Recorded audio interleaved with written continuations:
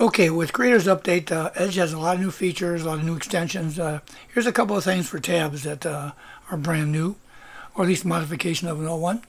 I'm going to open up uh, about a set of three tabs here. So I'm opening up three news tabs, basically. CNN, uh, let's do uh, ABC, I guess, or Fox, and then ABC. And once we get them all set up and everything, we're going to take a look at them. So once you have your tabs open, no matter you have one or a, bunch, uh, you're able to hub over the non-active tab usually, and you'll see a thumbnail beneath it of the actual content. Uh, that hasn't quite finished loading, but there you are. There's CNN, and you can see the content on the page. Uh, you can do that on any one of the other tabs as well. Uh, let me click on another one over here, Fox News. Let's hover over uh, ABC and then you'll see that. And hover over that, you can see that. But now, besides having being able to do one at a time, there's a uh, new feature. You'll see just to the right of the plus sign for adding a tab, you'll see one that is a downward caret. It says show all tabs, and there they are. You'll see any one of them, so you can actually see them all the time. So you can compare tabs and see which one you want to uh, go to in comparison to the other ones. Now you'll see if you go over to the left here and you go to the second item over, you'll hover over that and you'll see there's a new icon there. And that is Save These Tabs feature. So if you click on that, what it does, it takes your open tabs and saves them. And it'll automatically open up the home page. But now that you have that, you want to go take a look and you go to the far left and you'll see the icon to view your tabs, the ones you set aside. I've already done this a couple of times, but you see those are the ones I just did. Here's some I did earlier. I'm going to go ahead and get rid of those.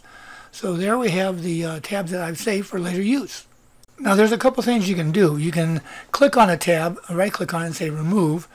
Uh, but if you click on one, it'll remove it from your save set and restore it to uh, active use. So you may or may not want to do that if you want to save your set. Now, if you don't need that set anymore and you're done with it, you only want to do that one, let's say, you can click on the X there and it deletes it, and now your save sets are blank. Uh, so I'm going to go ahead and set up some other uh, websites here.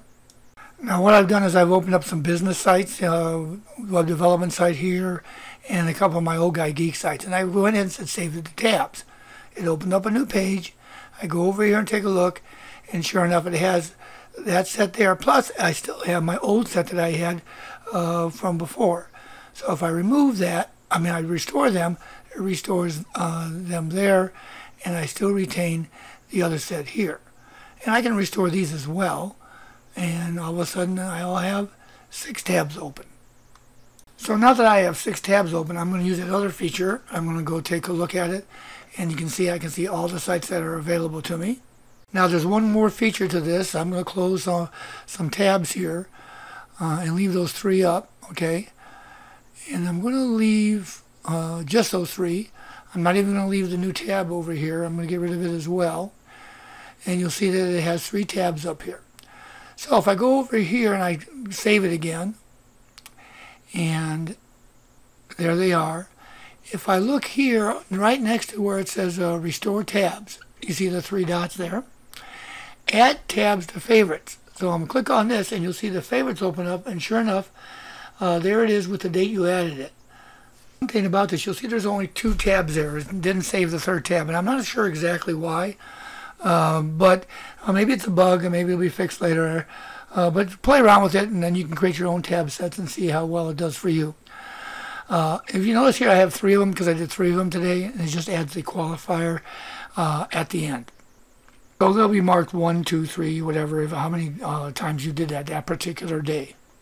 Now, you can also rename these. If you click on it, you notice here, and I change this one to My Business tabs, and now it's a shortcut called that. I can do the same thing with that, or I can delete the other ones. So there you have it, a couple of new tab functions that come with uh, uh, Edge and the Windows 10 Creator Update.